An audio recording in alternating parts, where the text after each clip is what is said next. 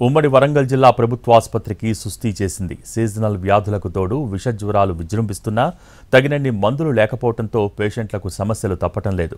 ఒకటి రెండు మందులు రాసి మిగిలినవి బయట కొనుక్కోమంటున్నారని అంటున్నారు పేషెంట్లు.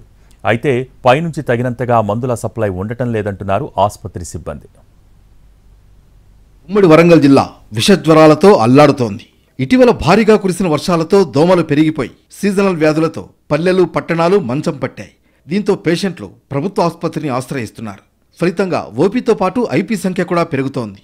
డెంగ్యూ మలేరియా టైఫాయిడ్ లాంటి రోగాల బారిన పడి జనం రోజుల తరబడి ట్రీట్మెంట్ తీసుకోవాల్సిన పరిస్థితులు ఏర్పడ్డాయి.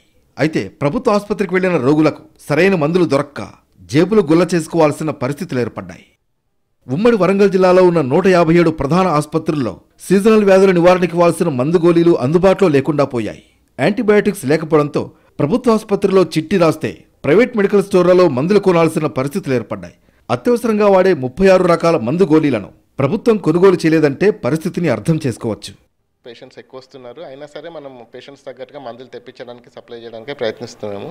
ఎప్పుడైనా ఇట్లా సప్లై చేస్తున్న దాంట్లో కొన్నిసార్లు ఒకటి రెండు మందులు ఇవ్వలేకపోవచ్చు. నెక్స్ట్ విజిట్లో కానీ పేషెంట్కి వచ్చినప్పుడు మళ్ళీ మనం సప్లై చేస్తున్నాం. కొన్ని రకాల మందులు మనకి తక్కువ సప్లై వస్తున్నమాట వాస్తవమే. కానీ మనం ఇంకా వాటికి ఆల్టర్నేట్ కూడా ఉంటాయి. అట్లా మనం పేషెంట్స్కి తగ్గట్టుగానే మందులని ఇస్తున్నాము. ఎంజీఎం మొదలుకొని primary health centres urban health centres బస్తీ దవాఖానాలు సహా ఏ ప్రభుత్వ ఆసుపత్రి చూసినా మందుల కొరతతోనే ఇబ్బందులు పడుతున్నాయి. డబ్బులు లేకనే ప్రభుత్వ ఆసుపత్రికి వస్తే మందులు బయటికి రావడం వల్ల ఖర్చులు పెరిగిపోయి సతమతమవుతున్నామని రోగులు వాపోతున్నారు. డాక్టర్ దగ్గరికి అన్ని ప్రాబ్లం చెప్తాం. ఓ నాలుగు మెడిసిన్ రాస్తారు. ఇక్కడికి వచ్చే వరకు ఒకటే మెడిసిన్ ఇస్తారు ఒక రెండన్నా మూడన్నా బయట తీసుకోమని చెప్తారు. మరి గవర్నమెంట్ ఇన్ని కోట్ల రూపాయలు శాంక్షన్ చేస్తుంది. ఈ మెడిసిన్ ఇక్కడ ఎవరి దగ్గరికి పోతుంది? ఇక ఇక్కడికి వచ్చేటోళ్ళందరూ పేద ప్రజలే. బయట ప్రైవేట్లో చేసుకోవాలంటే ఐదు వందలు వెయ్యి రూపాయల ఖర్చు అవుతుంది ఆ ఖర్చు తగ్గాలే చేసుకుంటారు కాబట్టి ఇక్కడికి వస్తే ఫ్రీ వస్తుందని వస్తే ఈ ఫ్రీ కూడా వీళ్ళు అమ్ముకుంటాను డాక్టర్లు అమ్ముకుంటాను తప్ప ఈ మెడికల్ షాప్లో మీ మెడిసిన్ అయితే ఎవరు ఇస్తలేరు. ఇది కంటిన్యూ ఇట్లనే నడుస్తూ ఉంటుంది. దీంట్లో పట్టించుకునేటోరు కూడా ఎవరు లేరండి. ఫ్రీ ట్రీట్మెంట్ కోసం వందల కిలోమీటర్ల నుంచి ఎంజీఎం హాస్పిటల్కు వచ్చే బాధితులకు మెడిసిన్స్ బయటకు రాస్తుండడంతో బిల్లులు తడిసి మోపెడవుతున్నాయి.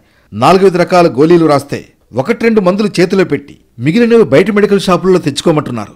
తీరా వారు చెప్పిన ప్రైవేట్ మెడికల్ షాపులకు వెళితే వేలకు వేలు అవుతూ ఉండడంతో పేషెంట్ల బంధువులు లబోదిబోమంటున్నారు. ఆరు రకాల మందులు రాస్తే రెండు రకాల మందులు ఇచ్చారు. బ్లడ్ రిపోర్ట్ దగ్గరికి వెళ్తే ఈరోజు బ్లడ్ రిపోర్ట్ ఇస్తే సోమవారం రమ్మన్నారు. ఈ విధంగా ఎందుకు అశ్రద్ధ అవుతుందో తెలియదు సార్. మరి ఆ మందులు ఏమవుతున్నాయి ఏం కావట్లేదో ఇది కావట్లేదు.